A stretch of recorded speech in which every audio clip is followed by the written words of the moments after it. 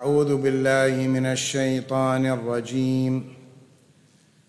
بسم الله الرحمن الرحيم. صلى الله عليك يا سيدي ويا مولاي يا رسول الله. صلى الله عليك وعلى آل بيتك الطيبين الطاهرين. والصلاة والسلام عليك يا مولاي يا أبا عبد الله. ما خاب من تمسك بكم وأمن من لجأ إليكم. يا ليتنا كنا معكم سادتي فنفوز فوزا عظيما. قال المولى الحكيم في محكم كتابه الكريم. بسم الله الرحمن الرحيم. ولقد ذرأنا لجهنم كثيرا من الجن والإنس. لهم قلوب لا يفقهون بها. ولهم أعين لا يبصرون بها ولهم آذان لا يسمعون بها.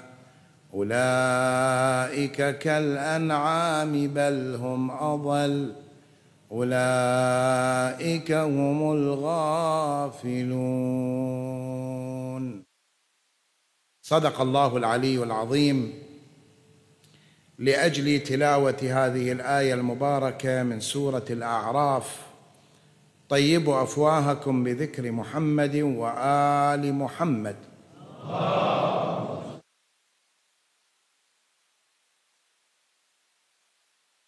إخواني الأعزاء كل شيء من حولنا له مقاييس خاصة.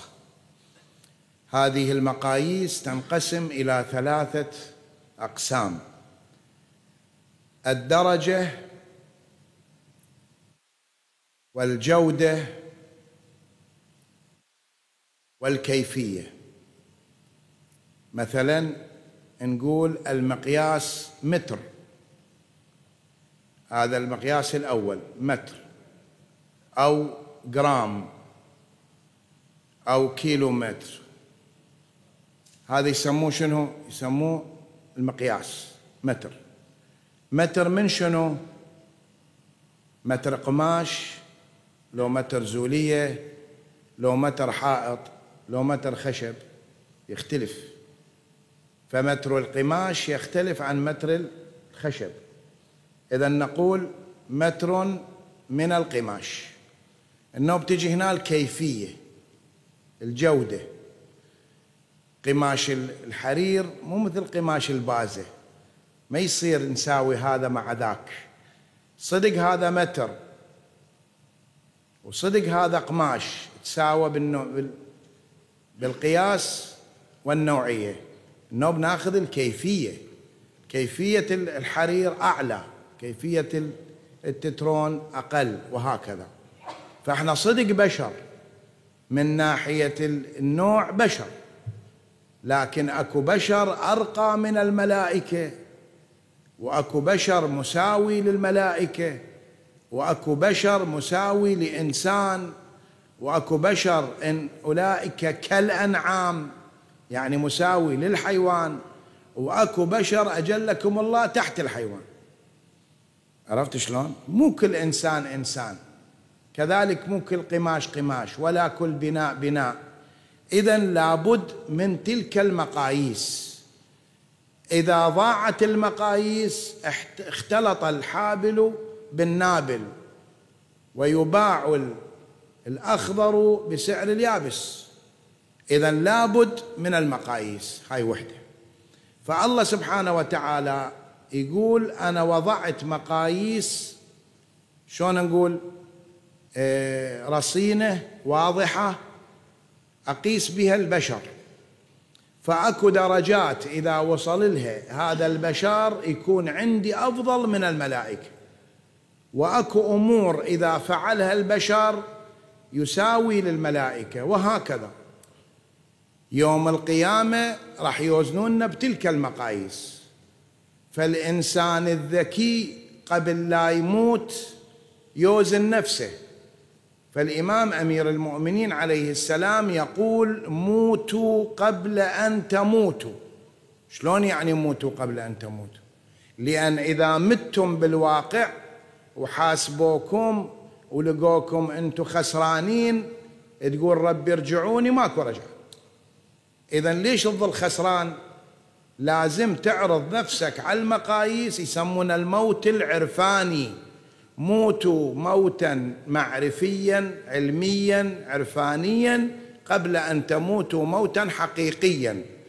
أوزن نفسك اليوم قبل لا يوزنوك باكر وتطلع خسران. لذلك قال المولى أمير المؤمنين عليه السلام زنوا أنفسكم قبل أن توزنوا وحاسبوها قبل أن تحاسبوا. لأن باكر إذا حاسبونكم ما عندك مجال ترجع. إذا طلعت خسران ماكو مجال تتلافى الأمر. لذلك يقول إحنا حطينا موازين أريدك أنت تقايس روحك بتلك الموازين وتشوف حالك. إخواني المرض له موازين وله أعراض. يعني أكو تردي بالحالة الجسمانية اللي يظهر عندك شنو؟ حالات مرض. أبو السكر يعاني من أمور أبو الضغط أمور أخرى. أبو الكوليسترول يعاني من شغلات أخرى. إلى أن نوصل والعياذ بالله إلى مرحلة السرطان. السرطان بعد شنو؟ ما بيرجعه إلا ما رحم ربي. اذا المرض البسيط له علاج بسيط وأعراضه بسيطة. أما المرض العضال والعياذ بالله أعراضه شديدة وعلاجه صعب. فلذلك إحنا لازم نشوف الأعراض اللي عندنا. العقل يقول إذا عانيت من الدوار الدوار عرض مشترك. لازم تشوف هاي الدوخة منين اجتك؟ هل هو ضعف في الدم؟ أم هبوط بالضغط؟ أم ارتفاع بالسكر؟ لازم تعرف. مال مسألة مثل قبل يابت هورش وغطوه هو ما يدرون الكوليسترول صاعد عنده مدري السكر صاير بيه تهورش. يغطونه ويلف ويتوكل يروح إلى دار حقه. فاليوم العلم تطور مثل ما أنت تروح للطبيب يأخذون منك عينات من الدم ويأخذون حرارتك ويودونك للأشعة ويأخذون الإدرار ويفحصونه. راح يعين الطبيب المختص شنو؟ يعين المرض. لا مو بس يعين المرض وإنما درجة المرض. أكو واحد يمكن يتعالج بحبة. قرص واحد. أكو واحد لا يقول لك أنت لازم كبسول. الثالث يقولوا له أنت إبرة. الرابع يقولوا له كنت تنام مستشفى. الخامس يحطونه وين؟ بالعناية المركزة. السادس ممكن يشقون جسمه. السابع يقولوا له عمي أخذوا مريضكم شوفوا شو يشتهي انطوه شنو يعني؟ معناه هذا منتهي ما إلى أي علاج. هذا بالنسبة إلى البدن أحكي يعني ولذلك البدن خلوا علامات الستاندرد مالته. الضغط 120 على 80 الكوليسترول من 100 120 إلى 200 السكر من 70 إلى 110 إذا صعد أو نزل عندك مشكلة. صح أقول له لا. هسه أنتم اللي يظهر عنده بد علامه مو يركض للمستشفى الطبيب يكتب له الدواء ويروح للصيدلية ويكون ياخذ الصي... ياخذ الدواء على الوقت وبالقياس. حتى شنو؟ يمر بحالة شنو؟ أن يتخلص من المرض ثم ياخذ له فترة نقاهة. نقاها وخلص من المرض بس كون يعوض اللي فقده بسبب المرض. هاي يسمونها فترة النقاهة. هذا بالنسبة للبدن أحكي. لكن الروح شلون؟ هذا البدن راح تعوفه بالقبر. البدن شلون ما يكون أنت تعوفه بالقبر. لكن المشكلة أمراض الروح. يعني أنا ابني لما أوديه للمستشفى هسه عنده كلية يمكن يزرعوا له كلية. عنده قلب ممكن يبدلوا له قلب. عنده أي مشكلة عندك فلوس مستشفيات أطباء. بس إذا تودي ابنك تقول للطبيب ابني كذاب ابني يكذب هواي بالله افحصه شو يقول لك؟ سوي له عملية. يقدر الطبيب؟ شو تقولون؟ إذا واحد ما مؤدب نوديه للمستشفى يأدبونه؟ لا يقول لك مو شغلتنا. هذا مرض روحاني. الكذب والغيبة والنميمة والسرقة والزنا وعدم كلهن أمراض شنو؟ أمراض روحانية. الطبيب يقول لك أنا متخصص بالجسم. من أحطه بالسونار يبين لي الهيكل العظمي ويبين آه، كل اجزائه أما هنا وديه إلى متخصص آخر اسمه محمد وآل محمد.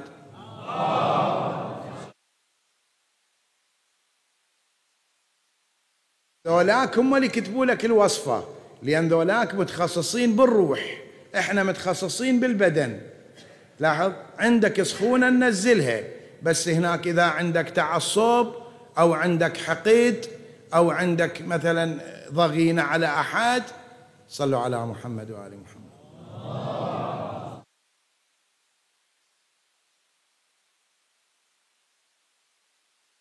المولى يتفضل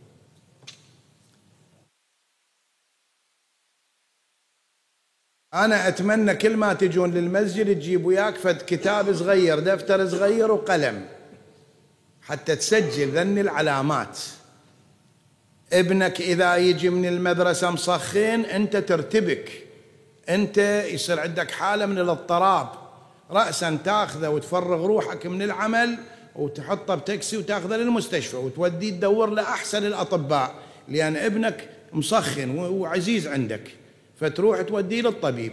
لكن إذا إجا من المدرسة وعنده سلوك منحرف أو عنده كلام بذيء أو عنده أخلاق مو طيبة إحنا ننام عنه ها؟ يمكن نضرب أطراقين وننام عنه. لا المفروض أركض بهذا الطفل إلى المتخصص الروحاني. أشوف ليش ابني قام يكذب؟ ليه من جاب الأخلاق السيئة؟ لماذا؟ لأن المرض البدني آخر. وين يوصلك؟ يوصلك للقبر. لكن المرض الروحاني يودي ابنك النار جهنم. يوديه هناك عذاب خالد فيه فأنت تخاف على ابنك من السخونة وما تخاف عليه من الكذب. تخاف عليه من الجمرة وما تخاف عليه من نار أحماها جبارها لغضبه. إذا مثل ما نتفاعل ونخلي أهمية للمرض الجسماني يجب علينا أن نخاف منين من المرض الروحاني. وشفت الكورونا لما صارت الكل لبست كمامات ها ولزمت بيوتها وخايفة الوادم من هذا البلاء. في حين إن قرية لوط ابتلت بهذا البلاء العظيم وما تحفظوا من عنده. ونهاهم الرسول بالتالي الله أنقذ نبيه وبناته بنات النبي أنقذهم ونزل عليهم بعذاب ما عذبت قرية كما عذبت قرية لوط. هم جعل عاليها سافلها وهم أمطر عليهم شنو؟ أمطر عليهم من حجارة المسومة عند الله وبعدين غرقهم القرية بكاملها حتى أن جبرائيل يقول ضربهم بطرف جناحه رفعهم إلى السماء وجعل عاليها سافلة. السبب شنو عندهم كورونا؟ شنو عندهم؟ إنما عندهم مرض عضال مرض ما يفيد وياه علاج. لاحظ؟ هسه إحنا إذا واحد ما مصلي بحياته كلها ما مصلي بس هو مسلم هو طاهر. إذا أراد يصلي ويتوب شو يسوي؟ يقضي صلاته ويقضي صيامه باعتبار أن حياة المسلم حياة شنو؟ حياة يقول نظيفة وطاهرة بس هو عنده قصور.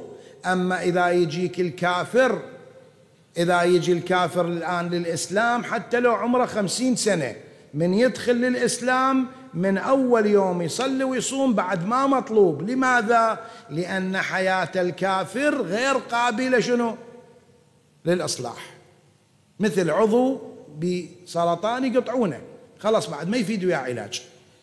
فيا أخواني يا أحبائي الأمراض البدنية إلها علاج وإذا ما عالجناها تتفاقم وتطلع أعراض أقوى فأقوى إلى أن توصل الإنسان للموت. كذلك الذنوب.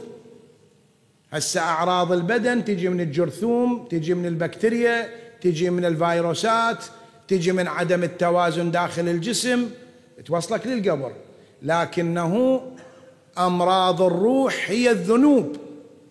فكل ما يذنب الإنسان ذنب تظهر عنده حالات. شلون مثلا العدة التهاب يسخن؟ كذلك أصحاب الذنوب تظهر عندهم علامات. كون إحنا من خلال وجود هاي العلامات بالمجتمع أو بالشخص نعرف هذا الرجل شنو؟ موغل بالذنوب. فالله سبحانه وتعالى خلانا علامات تظهر سبحان الله لذلك مثل ما كلية الطب تدرس علامات المرض فإن أهل البيت صلوات الله وسلامه عليهم يعلمون علامات الذنوب. إن الإنسان المذنب شو تصير به من تغييرات؟ أضرب لك مثال شوية. هذه العباءة اللي أنا لابسها هذه عباءة منسوجة من خيوط القطن والقطن إلى فد ميزات معينة. هسه هاي العباءة إذا طاح عليها ماي تتغير حالتها لو ما تتغير. تصبح رطبة تصبح ثقيلة شوي. ممكن توصل للكهرباء صح؟ لكن من أجففها ترجع لو ما ترجع؟ ترجع مثل الأولى كأن نفس العباية هذا المؤمن إذا أذنب تتغير حالته. بس يتوب ويستغفر الله يرجع مؤمن مثل ما كان. لكن نفس هذه العباءة لو حطيتها على الجمر واشتعلت نار؟ هسه إذا اشتعلت ترجع مرة ثانية لو ما ترجع. ها؟ خلص تحولت. ما صارت بعد عباءة صارت كربون. زين لذلك أكو بشر لما يذنب بعد ما إلى رجعة. أكو نوع من الذنوب إذا سواها الله يقول ختم الله على قلوبهم. ختم الله. خلص وجعلنا منهم القردة والخنازير. بعد هذا ما هو بشر. يتحول قرد أو خنزير. هسه أنا راح أسوي لكم اختبار بسيط. لما نزلت سورة المسد شو تقول؟ بسم الله الرحمن الرحيم. تبت يدا أبي لهب وتب. ما أغنى عنه ماله وما كسب. سيصلى نارا ذات لهب. آه. وعد؟ وعيد من الله أن هذا أبو لهب يصلى نارا ذات لهب. زين. هذه السورة لما نزلت أبو لهب كان عايش لو ميت. عايش ها؟ عايش. زين افرض سمع السورة وخاف من عندها ويريد يروح للنبي ويسلم. النبي منع له ويقبل يقبل إسلامه؟ شو تقولون؟ وحشي اللي قتل حمزة عليه السلام على حمزة السلام. لما اجى للنبي أسلم لو ما أسلم قبل إسلامه قال له بس لا تراويني وجهك. اذا أبو لهب لو سامع هذه السورة وسمعها فعلا افرض يريد يتوب ويجي للنبي راح يسلم. وإذا أسلم يجوز يصير خوش آدمي. إذا صار خوش آدمي شاي السورة وين نوديها بعد؟ شو تقولون؟ تنزل سورة ثانية سوف لا يصلى. لو نشقها ونذبها آه إذا تبين قبل لا تنزل السورة. الله جل وعلا علم بأن أبا لهب وصل إلى مرحلة لا عودة. وصل إلى ختم الله على قلبه. مثل هاي العباية من احترقت. بعد رجعة ويصير عباية ما يصير ها؟ لذلك نزل هاي السورة وبعده هو عدل. لاحظ؟ يعني هذا أبو لهب وصل إلى مرحلة الختم. زين من يقول إحنا ما واصلين لهاي المرحلة؟ مش مدري يعني أنا جاي أصلي وأصوم وأحج وأزكي لكن أدري أنا شو مسوي من ذنوب؟ باكر عقبة بالقبر من راح يقعدوني ويطلعون هاي الأعمال كلها. يا ترى أنا أصيح رب ارجعوني؟ لو ما أصيح وإذا صحت أرجع لو ما أرجع. إذا الإنسان الذكي يسمع من أمير المؤمنين. زنوا أنفسكم قبل أن توزنوا. إذا اليوم أريد أخذكم نروح للطبيب. نفس الطبيب اللي حلل الدم وحلل الإدرار وسوى الأشعة وعرف المرض وعرف درجة المرض ها؟ نروح إلى طبيب محمد وآل محمد.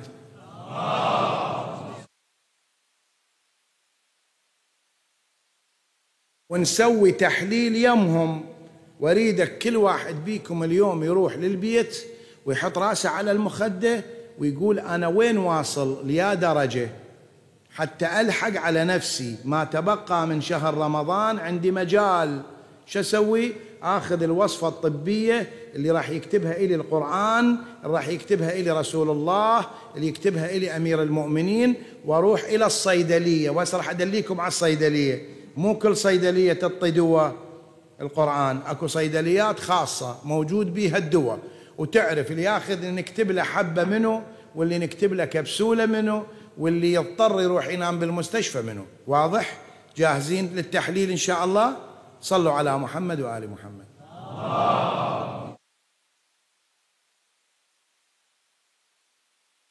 الله يقول ولقد ذرأنا لجهنم.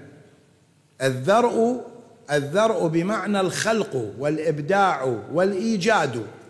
يعني الله جاي يقول إحنا خلقنا وذرأنا. ها؟ وأوجدنا شنو؟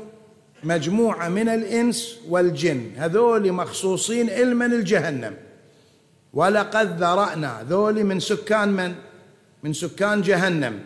ولقد ذرأنا لجهنم كثيرا من الجن والإنس. شنو مواصفاتهم؟ يقول لهم قلوب لا يفقهون بها. يعني تحكي ويا ما تحكي ويا كلامك ما يدخل دماغه ما يقتنع. ولهم أعين لا يبصرون بها. يعني جاي يشوف فرعون وين صار وجاي يشوف هامان وين صار وجاي يشوف آه، قارون شلون بلعت القاع وجاي يشوف نمرود شنو نهايته وجاي يعرف صدام حسين وين نهايته وجاي يعرف كل ظالم وين نهايته يشوف بعينه بس يقتنع ما يقتنع. ولهم لا يبصرون ولهم آذان تنصحه تحكي وياه تقعده بمحاضرة تقرأ عليه قرآن يطلع من هاي الباب يرجع كما كان كأنه ما حاكي وياه. شو يقول عنهم؟ يقول أولئك كالأنعام. شنو يعني كالأنعام؟ يعني واصلين مرحلة الحيوان. زين الإنسان الله مو كرمه ولقد كرمنا بني آدم. يعني أنت الله انطاك درجات فوق الحيوان. أكو ناس تتسافل بأعمالها حتى تصل مستوى الحيوان.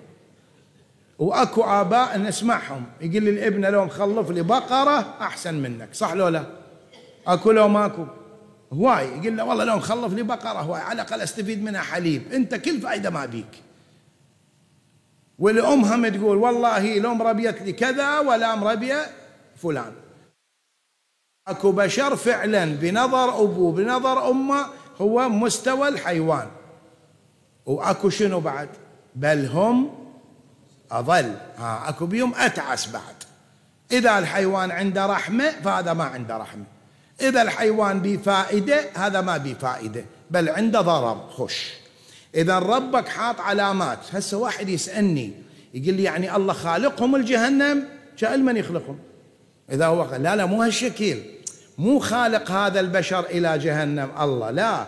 وإنما حاط مواصفات. حاط مواصفات. يا أيها الإنسان هذن المواصفات لا تتصف بهن لأنك إذا سويتهن فأنت كأنك شنو؟ من هسه تروح الجهنم. القاضي قبل لا يجي للمجرم خمو ويكتب القانون. أكو قانون مكتوب. فيشوف حالة المجرم. شنو جريمته؟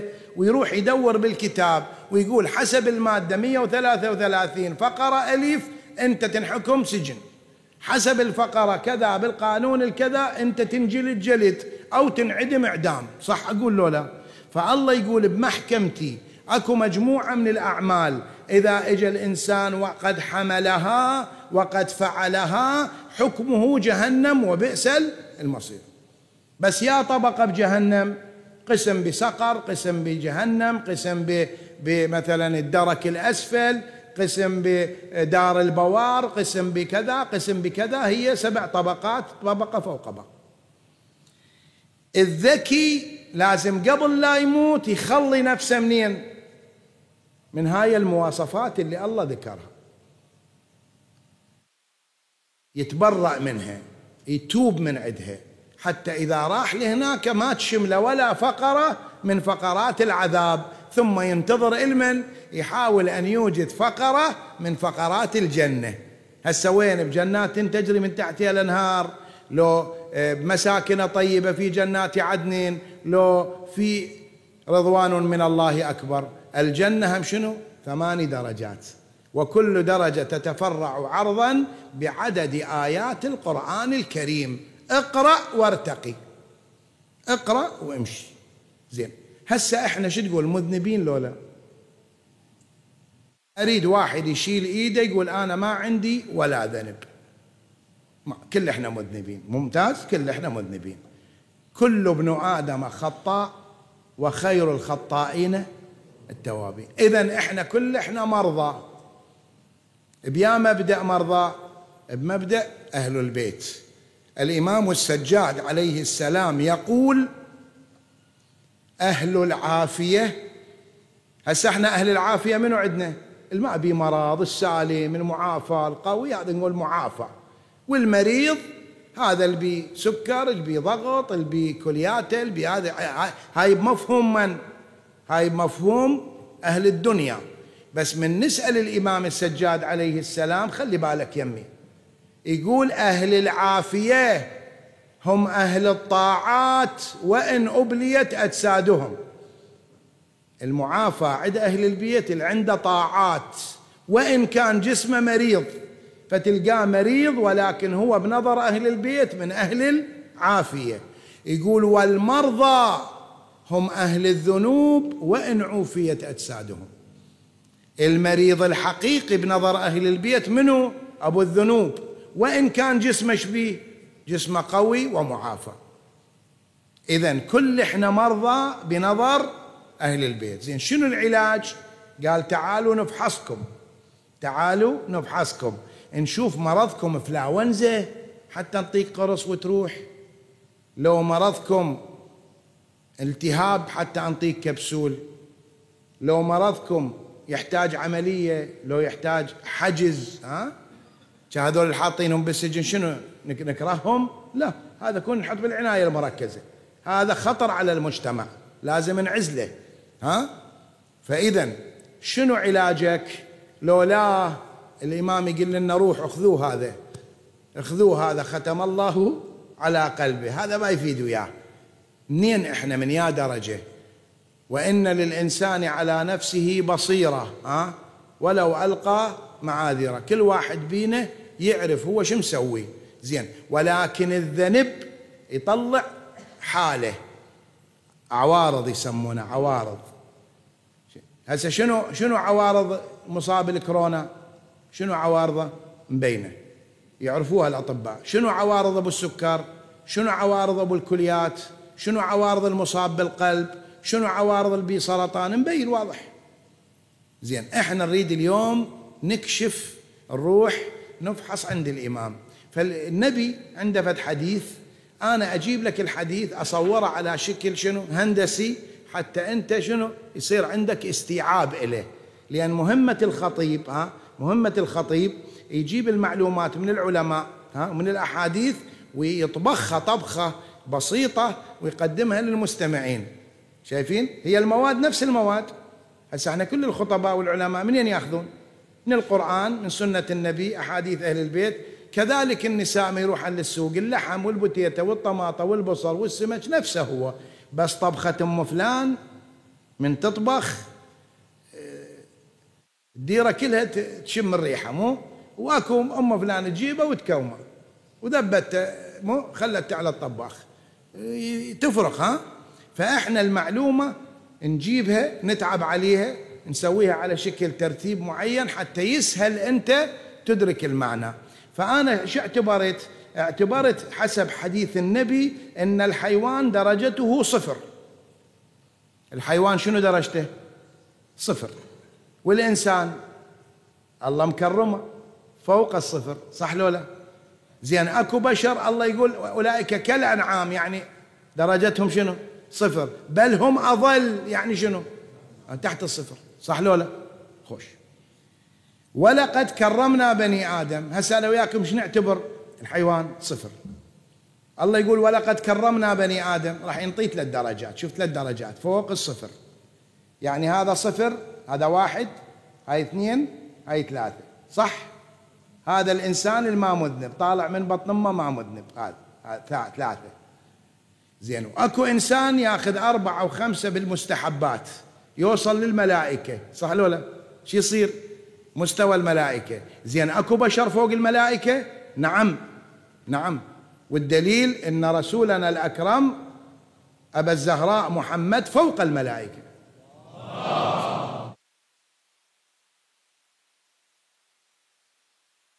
بدليل كثير بأدلة كثيرة عندنا. زين اذا أكو بشر فوق الملائكة؟ وأكو بشر بمستوى الملائكة وأكو بشر بمستوى الإنسان وأكو بمستوى الحيوان وأكو شنو؟ دونه. صلوا على محمد وآل محمد.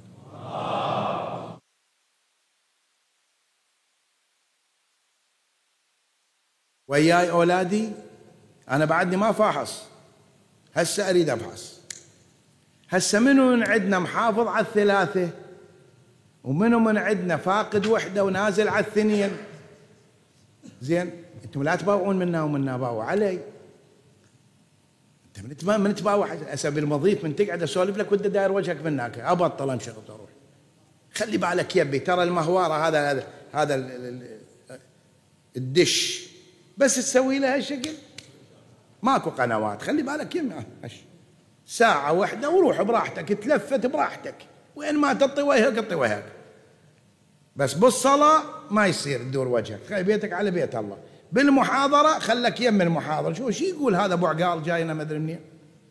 صلوا على محمد وآل محمد.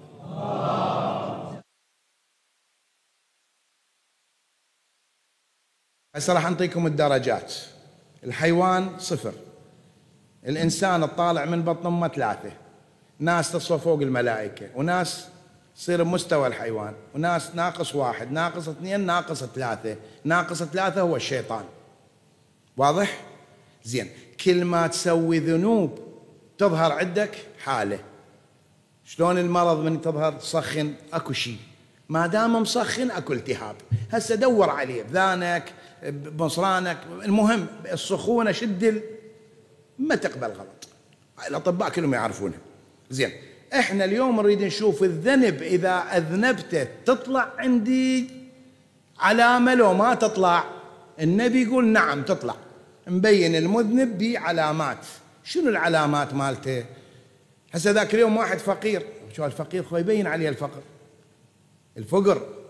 مبين ذاك هو اجلح املح هدومه مو؟ جهالة شلون شكلهم؟ مبين. من يصير ملياردير؟ يقوم يلمع.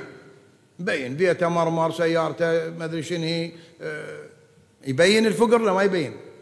والغنى هم يبين. أريد نشوف الذنب يبين لو ما يبين.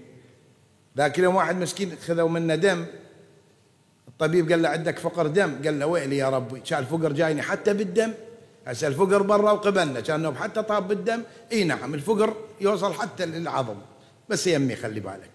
أول ما يولد الإنسان من بطن أمه قانون ولقد كرمنا بني آدم. ثلاث درجات. بس يبدي يذنب تطلع عنده علامة. هاي العلامة من تروحون لبيوتكم شوفها عندك لو ما عندك. إذا عندك تبين أنت ساحب منك الله. درجة ثلاثة نعطيك إيش قد؟ اثنين. شنو هاي العلامة؟ إذا بدأ يذنب ابن آدم. تظهر عنده علامة. شنو؟ الضبابية وقساوة القلب. يعني شنو؟ أنا يوميا أصلي الصلاة بوقتها لكن اليوم قعدت بالعشرة. أظل ألوم بروحي شلون أنا قعدت بالعشرة؟ شلون فاتتني الصلاة؟ شلون أنا اليوم مفطر ما, ما, ما صليت؟ اليوم شلون خذيت غيبة فلان؟ هذا حس شنو حس الوجدان حس الضمير. أظل ألوم بروحي. هذا المذنب إذا استمر بالذنب أول حالة تروح منه هذه. يقول يوميا عادي يقعد بالتسعة يصلي عادي ماكو نفس تحاكي. ياخذ غيبة ولا له غرض يباوع البنات العالم ولا يحاسب روحه. هذا اللي عنده هيك حالة قساوة قلب وما يحاسب روحه وخانق وجدانه. تبين هذا الله ماخذ منه درجة زائد ثلاثة. إيش نعطي؟ زائد اثنين. يا شباب أي واحد ما يصلي بوقتها وما يحاسب روحه أي واحد يأذي الناس وما يحاسب روحه تبين الله منزله درجة. يعني صاير على زائد اثنين. خوش. إذا استمر بس يستمر بارتكاب الذنوب الله يسحب منه زائد اثنين وين يخليه؟ زائد واحد. تظهر عنده علامة ثانية. هسه مو بس سخونة صار عنده وجع ظهره. عرفت؟ العلامة الثانية عدم الأنس بالله. عدم الأنس.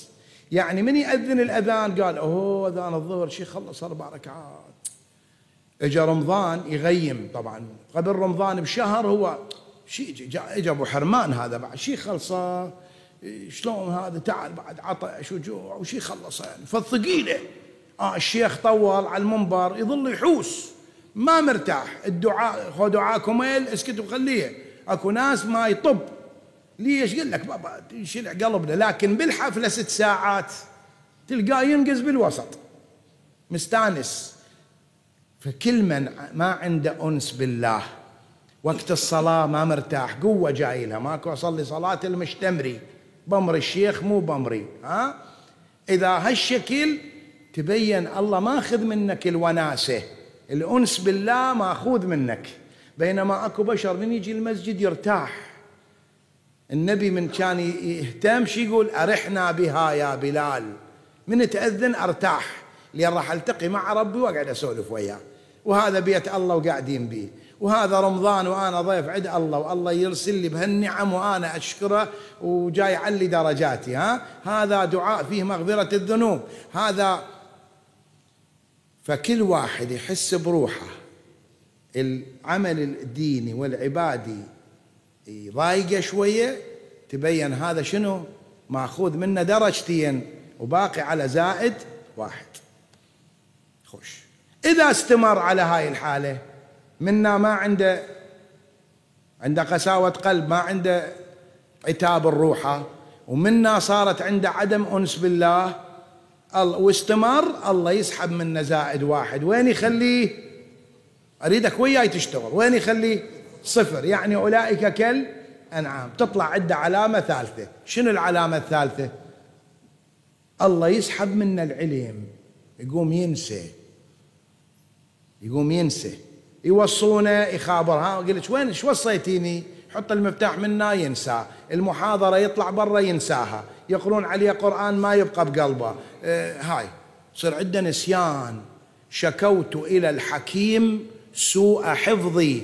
فأوصاني بترك المعاصي وقال لي بأن العلم نور ونور الله لا يؤتاه عاصي. عرفت شلون؟ يا طلاب الإعدادية إذا تريد تقوي الحافظة مالتك اذكروا الله يذكركم. ادعوا الله واستغفر واقرأ الأدعية الخاصة. سبحان من لا يعتدي على أهل مملكته. سبحان من لا يأخذ أهل الأرض بأنواع العذاب. هذه تؤدي إلى شنو؟ وقل ربي زدني علما. اذا هذا الذي عنده قساوة قلب وعدم أنس بالله وعنده سوء حافظة أو فقدان للعلوم خاصة العلوم الدين أحكي على علوم الدين هذا تبين على الصفير. هم أولئك شنو؟ كالأنعام. خوش إذا استمر ما دار بعد استمر. على نفس الذنوب على نفس الحياة. الله يسحب منا الصفر ويطيش قد ناقص واحد. آه. بدينا بالماينص النوم. ناقص واحد. شنو علامة ناقص واحد؟ الله يقول شا تبين هذا؟ لا يتآنس بيه ولا يحاسب روحه. إذا تبين هذا مغتر بنعمتي عليه. هذا الرجال هذا الإنسان آه، نعمة عنده. ولذلك ما دام عنده نعمة لا يحب يذكرني ولا يحب يحاسب روحه فشي يسوي؟ يسحب النعمة منك. اللهم اغفر لي الذنوب التي تغير النعم. شي يسوي؟ محلك كان يربح مليون قام يربح خمسمية. راتبك كان يكفيك هسه ما يكفيك. مو؟ هاي النعمة والبركة تروح من أموالك من حياتك. إذا واحد عنده هالشكل ما جاي تجلس خسارة مدري منين ما منين خلي ينتبه ترى هذا ناقص واحد. إذا استمر قال هي خربانة خربانة. إذا استمر وما التفت الروحة يسحب منا ناقص واحد إيش ينطيه؟ ناقص اثنين. شنو العلامة تظهر؟ يقول تبين أخذت النعمة وما توجه خلينا ننزل له نقمة. والله تجيك النقم ما تدري منين ها؟ اللهم اغفر لي الذنوب التي تنزل النقم ها؟ هذه يطلع بالباب جت طابوقه ابنه طلع دعم له واحد مرته طلعت انكسرت. ما, يدري منين الطراجيع تجي له فوق راسه. فخلي يدير باله هذا. هم النعمة رفعت وهم النقمة نزلت عليه وهم انه ما يستانس بالله وهم انه ما يحاسب روحه على أفعاله. إذا استمر هنا تنسحب منه ناقص اثنين. وش ينطونه؟ ناقص ثلاثة. يعني يحشر مع الشيطان. هذا يقول الله يضرب عليه حجاب بينه وبين السماء فيدعو فلا استجابة. هؤلاء الذين يقول فيهم ختم الله على قلوبهم. هذا من الختم. شنو يعني الختم؟ يعني الظلمة بالقلب ما تطلع والنور البرة ما يدخل. هذا يصير مثل أبو لهب. ختم الله على قلوبهم. اذا شو نريد إحنا أذني ست علامات اعطيتك تروح هسه أنت تروح تطبق على نفسك اللي عنده وحدة من ذني خليه يلحق للوصفة الطبيب شو يسوي يكتب لك وصفة بعد ما يشوف تحاليلك ويشوف أشعتك راسا يعني يكتب ورقة يكتب RX واحد واحد شنو؟ هناك إيش يكتب لك؟ حبوب باراسيتامول كبسول أموكسيسيلين إبرة ما أدري شنو مو؟ شو تقولون؟ وأنتم تاخذوه تروحون للصيدلية، هنا لا النبي يكتب لك ورقة يقول لك اولا استغفر الله. قلت استغفروا ربكم إنه كان غفارا. اثنين توبوا. عدم العودة. لا تعودون إلين. هاي اثنين. ثلاثة اقرأ الدعاء الفلاني. أربعة رجع ظلامات الناس الماخذهن.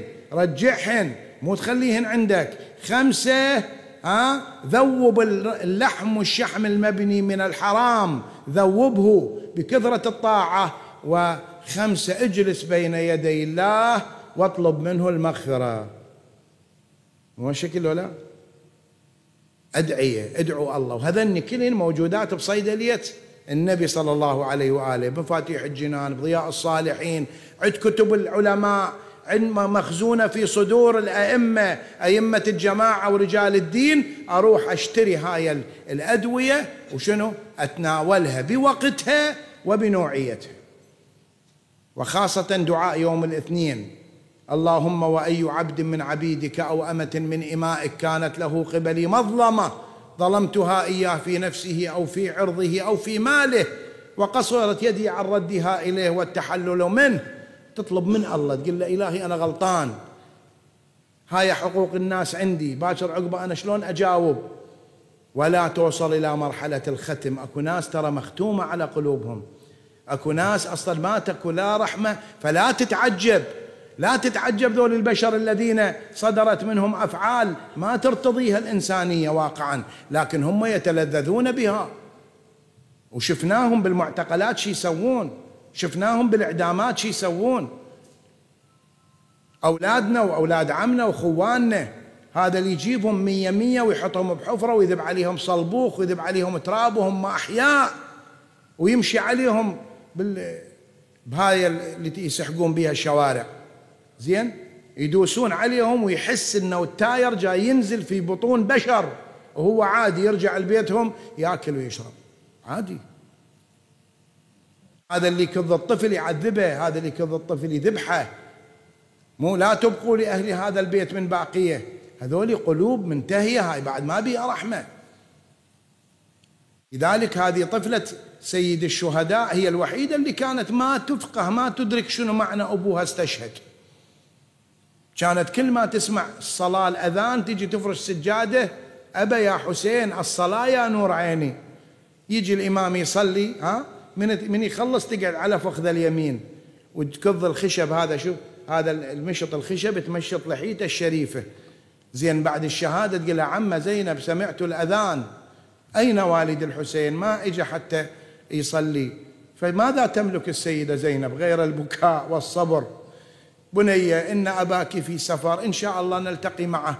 الطريق كل هذا الحكي إلى أن وصلوا إلى الخربة عمة زينب إما تودوني لوالدي وإما تخلون والدي يجي أنا اشتقت له كثيرا. تصبر عليها السيدة زينب. النساء يروحن نعم يتسترن بالبكاء ها؟ يقول بعد ذاك اليوم نامت بالخريبة يقول كأنها رأت أباها بالمنام. يقول قعدت من النوم قالت لها عم زينب بعد ما عندي صبر. أنا لازم أشوف والدي الحسين. يقول على البكاء بكاء نساء بعد أيتام يقول وصل الصوت لهذا اللعين المختوم على قلبه. شنو الخبر؟ قالوا له والله بنت طفلة للحسين تبكي على أبيها. قال لهم خذوا لها الرأس. شوف القساوة خذوا لها الرأس. يقول جابوا الرأس بطبق مغطى بمنديل ها؟ يقول من بعيد؟ ونشوف الناس كلها تباوع على الطبق. هي باوعت قالت لها عمة عمة زينب أنا ما طلب الطعام أنا ما أريد الطعام أنا أريد أرى والدي. يقول لما كشفوا لها المنديل شافت الراس من بعيد يقول ركضت. رمت بنفسها على رأس والدها. يقول هالشكل تحط اصابعها على خدوده. أبا يا حسين من الذي جرح الوجه الجميل؟ أبا يا حسين من الذي خضب لحيتك بدم نحرك؟ أبا يا حسين من الذي أغمض عينيك؟ أبا يا حسين من الذي أيتمني على صغر سني؟ يقولون السجاد قالها عم زينب ارفع اليتيم عن رأس والدها فوالله لقد فارقت الحياة. رحم الله من نادى وحسينه.